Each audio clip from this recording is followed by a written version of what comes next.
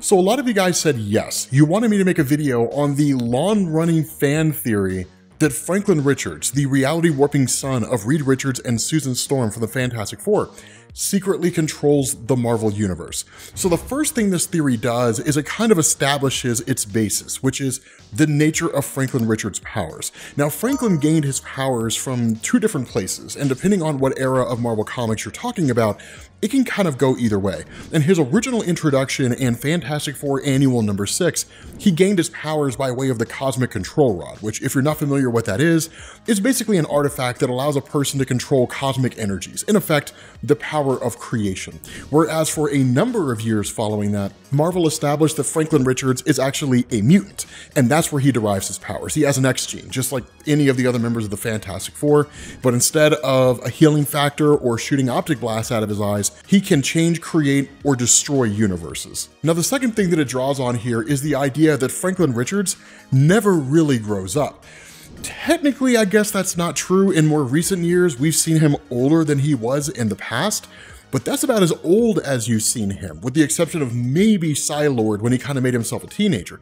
But what you ended up getting is either the younger version of Franklin Richards or this just kind of inexplicable introduction of himself as an adult from the future who came to the present day in order to save the life of his father.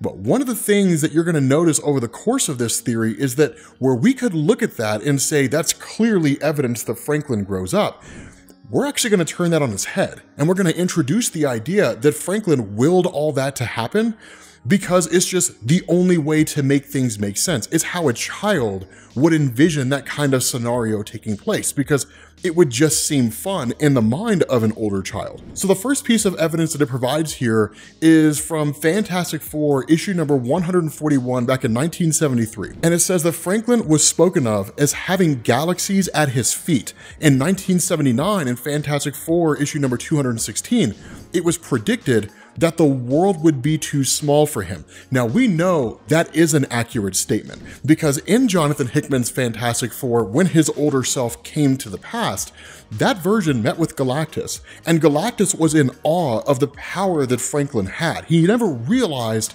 exactly how capable Franklin was, despite all the things that he had done over the course of his life, which we'll talk about in this video because some of those things are crazy, but Galactus revealed to Franklin that when the universe reaches its heat death, Galactus and Franklin will be the only two beings left in existence. They will ultimately merge into a singular being at the end of the universe, and they'll be reborn into something new. So the statement and the idea that the world is too small for him is 100% accurate. Now the next piece of evidence it uses comes from Fantastic Four issue number 244, which brings in this idea that basically power dampeners or mental blocks were placed in the mind of Franklin to close his mind off to his power, which led to all kinds of crazy stuff. But the question is how early did this power manifest? And the idea is that Franklin's simplest ability is to create a dream version of himself. His greatest power is to create a kind of dream version of reality,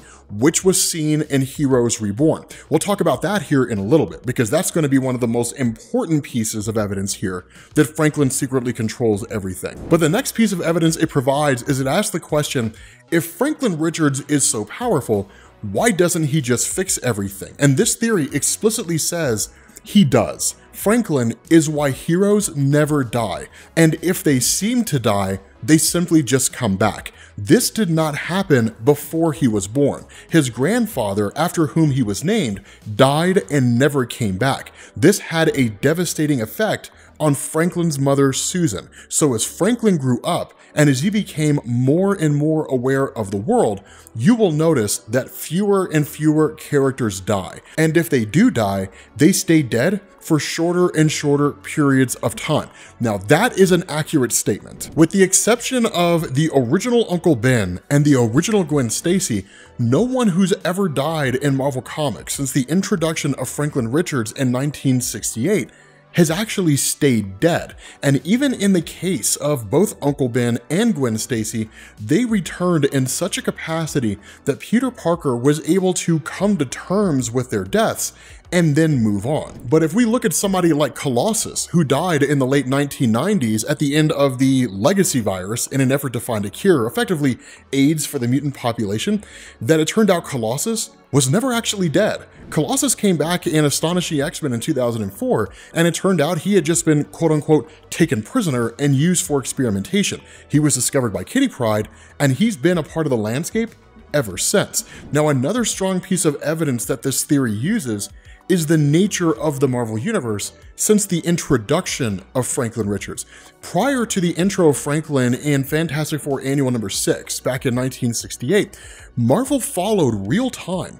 If you went and picked up a story in October of 1962, that story was happening in October of 1962. You would see autumn leaves and all kinds of stuff. But after Franklin was introduced, Marvel slowly stopped following real time to the point that the universe effectively just became static. And we'll talk more about that here in a minute because there's an even more compelling piece of evidence that really supports that. But the next piece of evidence that it presents here is the question, why don't the heroes ask him to fix specific things? And what it does is it invokes the death of Johnny Storm or the perceived death of Johnny Storm in Jonathan Hickman's Fantastic Four. For those of you guys who aren't familiar with that, and it's probably one of the best moments in the history of the Fantastic Four, that the forces of Annihilus in the negative zone, right? Just this army that spans and potentially the trillions, and in fact almost wiped out the entirety of the Marvel Universe, that a portal is basically opened to the negative zone. And it comes down to Johnny Storm, Ben Grimm, Franklin, his sister Valeria, and a couple other members of what was called the Future Foundation, basically a coming together of really smart kids, to effectively stave it off. Johnny Storm ends up staying behind, and Johnny Storm fends off against like a billion of these bugs. Now, under any normal circumstance, if this was written or even given to us in any other medium, a film, TV show, whatever, Johnny would have been dead. But what we end up finding out is Johnny was just unconscious. He was effectively knocked out and he was taken as a prisoner. He goes on to seize the cosmic control rod for himself and then to lead an entire army against Annihilus, take his place, and then seize control of the Annihilation Wave for himself. As completely impossible and improbable as that sounds, he would have been killed under any normal circumstance. This theory puts forward the idea that whatever fix Franklin Richards came up with in order to quote unquote save the day, that one, it was predicated on his perception of his uncle Johnny Storm, heroic, strong, capable, powerful, but that it would also have to follow little kid daydream logic and fit in with the events as they've already happened. And so instead of Johnny Storm just popping up and just being like, nope, I'm not dead and I never was. Basically, Johnny Storm, if he ever came back to life, that whatever convoluted explanation that was given in the comics, that it would be a story that would be dreamed up by Franklin Richards given his perception of the situation and how he perceived his uncle. And that's exactly how those events transpired. It's exactly how those events unfolded. But following this, it brings into question if Franklin Richards has all this power and Franklin Richards does these small little things, how does this tie in to his role in quote unquote controlling the Marvel Universe? Because up to this point, it's just kind of been conjecture more than anything else. And what it does is it says the first we see of Franklin as a young child is when he plays on a farm in Fantastic Four issue number 135. What does he naturally do when he's left alone? He watches ants, and they keep marching round in circles like they were following orders. From the look on his face and the comments in the minder, he's just watching them. To cosmic beings, humans are ants. Franklin is a cosmic level being. He unconsciously makes ants walk in circles. This is not deliberate, and it's certainly not malicious. It is simply how he wants things to be, and it is so. As we saw in Heroes Reborn, critics sometimes observe that Marvel Comics can be repetitive superficial, and lack any real danger. This is exactly what a young child wants from his stories. This panel could be a comic book fan distressing that his favorite character had been killed and wanting that character to come back, referencing a particular panel where it looked like Susan Storm was dead. And so it asks the question, how much does Franklin actually control? And it says, we see that Franklin has virtually unlimited power to control the universe to protect his family when they are in danger. And he often does this unconsciously. How often are his family in danger? The answer, all the time. They're superheroes. They put their lives on the line every single day. Then how often would Franklin feel an unconscious worry about his family? All the time. Then how often would Franklin be subtly fixing things by putting things back how he thinks they should be? All the time. As a young child whose parents face death every day, what would be Franklin's greatest unconscious fear? the future. Like any young child, he would dislike too much change. Would he simply remove all the bad guys? No. Young children like stories about bad guys being defeated. It makes them feel safe. Franklin would ensure his favorite bad guys keep coming back in order to be defeated again. Young children like their stories to be repetitive. If this is all true, what would we expect to see in the Marvel Universe? Time slowing down heroes surviving against the odds, and sometimes even coming back from the dead, the same villains coming back again and again, occasional moves back in time when things go wrong. We would expect to see Franklin Richards subconsciously controlling the Marvel Universe. And this is where the most interesting piece of evidence comes into play. Heroes Reborn. So for those of you guys who are not familiar with the Heroes Reborn storyline, this was a follow-up to the events of what was called the Onslaught Saga. The Onslaught Saga was the result of what happened when Professor Xavier had shut down the mind of Magneto after he ripped the adamantium out of Wolverine's body.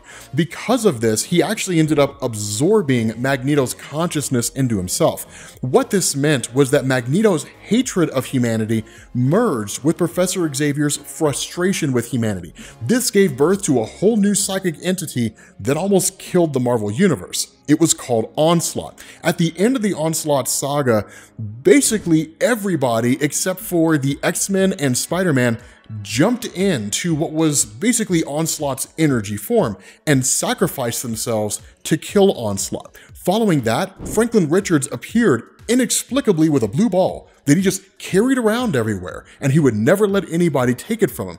Come to find out what he had done in order to maintain this idea that the superheroes always win is that he had resurrected all the superheroes from the dead, put them in this whole new universe that he had created called the Heroes Reborn universe, changed all their origin stories, and let them live their lives. But, as in the example, when he was on the farm, he was observing the ants going in circles. Now, eventually at the end of that, you get Heroes Return.